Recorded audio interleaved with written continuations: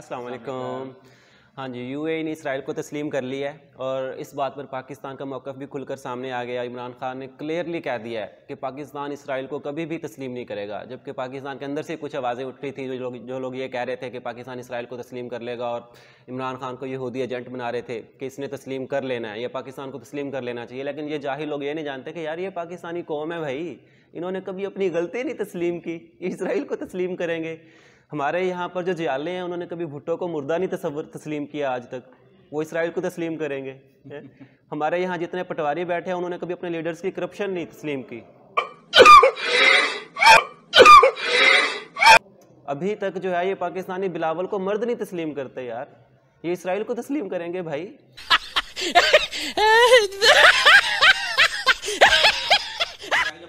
यहाँ पर शेर बनवाने में लगा हुआ है और उसे ये नहीं पता कि यार पाकिस्तान में तो भाई शेरों की वाली हो रही है।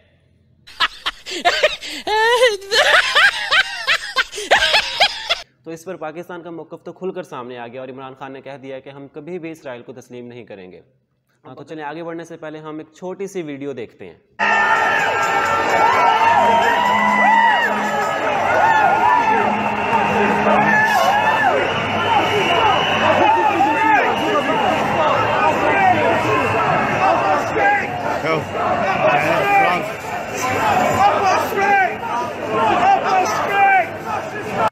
हाँ जी तो आपने देखा कि ये जो मुस्लिम्स हैं ये किस तरह से सिर्फ़ ये शो करवाना चाह रहे हैं कि अरब ममालिक के हुक्मरान अपनी तमाम तर दौलत तमाम तर मज़बूत मीशत के बावजूद भी अमेरिका के पालतू कुत्ते बने हुए हैं। ये जो इसराइल और फ़लस्तीन का असल में इशू है अगर इसकी हम थोड़ी सी हिस्ट्री देखें वो तो, तो वो ये है कि फ़लस्तीनी सरजमीन पर कई सौ साल से आबाद हैं जबकि इसराइली बीसवीं सदी में यूरोप में रहते होते थे फिर उन्होंने वहाँ से हिजरत शुरू की और यहाँ पर आ गए कि हम अपना वतन बना लें और फिर उन्होंने क्लेम किया कि हमारे बावजदाद कोई हज़ारों साल पहले यहाँ पर रहते होते थे। और ये सारा कुछ हुआ अमेरिका की सरपरस्ती के अंदर।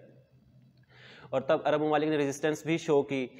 कोई दो जंगें हुई, एक 1948 में और एक 1967 में हुई। लेकिन 67 वाली जंग में जाके इसराइल ने गज़ा पट्टी और जो वेस्ट बैंक था उस पर कब्ज़ा कर लिया। इसके अलावा इजिप्ट का भी कुछ हिस्सा ले लिया, लेकिन इजिप्ट ने इसराइल को फिर तस्लीम कर लिया।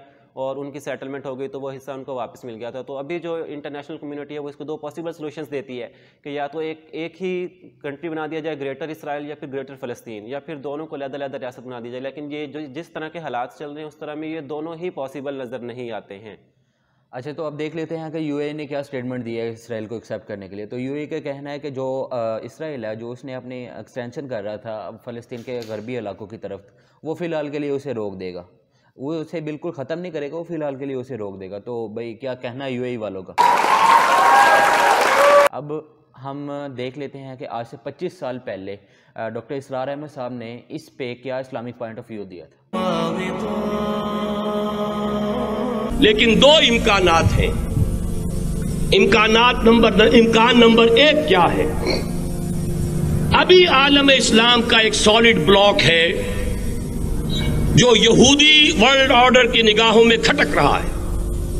मैं खटकता हूँ दिले यजदा में कांटे की तरह। अगरचे उनकी स्ट्रेटेजी क्या है? एक एक करके इनके हिस्से बखरे करके तिया पांचा करो। अभी वो ब्लॉक कौन सा है? ईरान है। अफ़गानिस्तान है। पाकिस्तान है। और सिर्फ़ तहरीके पाकिस्तान थी कि पाकिस्तान का मतलब क्या? ला इलाहा इल्लल्लाह। कोई सबब है कि यहाँ करारदाद मकासद पास हुई। हाकमियत अल्लाह की है।